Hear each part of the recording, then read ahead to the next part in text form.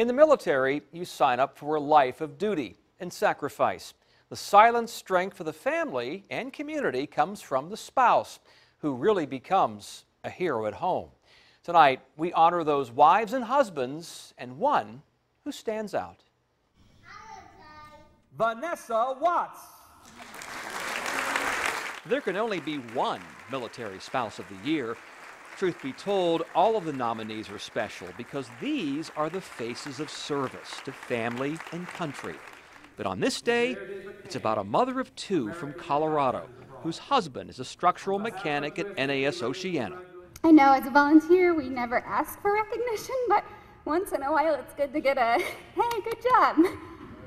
Um, thank you all very much. You get a sense that Vanessa is not comfortable talking about herself, turning her attention instead to others like her.